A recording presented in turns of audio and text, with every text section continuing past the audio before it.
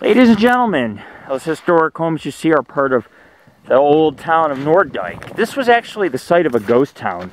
Sagebrush has consumed it. Here I am walking in these sandals. If you looked at my sneakers, I had over two inches of mud and I had washed them in the bathroom sink at a gas station and oh man, I got mud everywhere.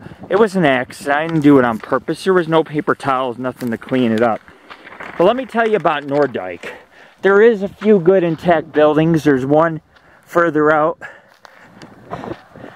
It's out in the Sangatse mountain range. This is Sangatse, I believe, right here.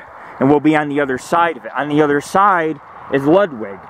But it was named after Mr. Nordyke. He, uh, he had built the Nordyke and Marmon machinery at the flour mill. There was a rail station and it was for the Nevada Copper Belt Railroad in 1910.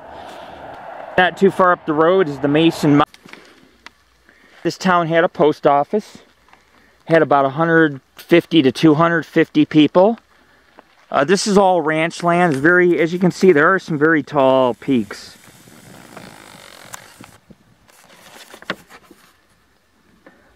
Amazing scenery. In 1914, the town went bust.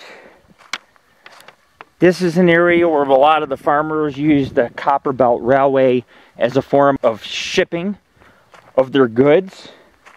There was also a quartz mill here. I don't know where that is.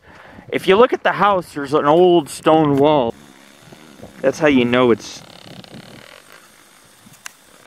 It kind of fits the building here a little bit. Everything's made out of stone, the foundations. There should be three buildings in total.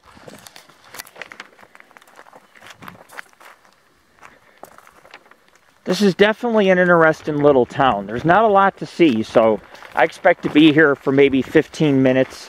Tammy will do the EVP. She seems to get them. That's why I'll let her do them, because she has a lot of luck getting them too, not just me. But wow. Amazing. That sun, that sun is just beaming.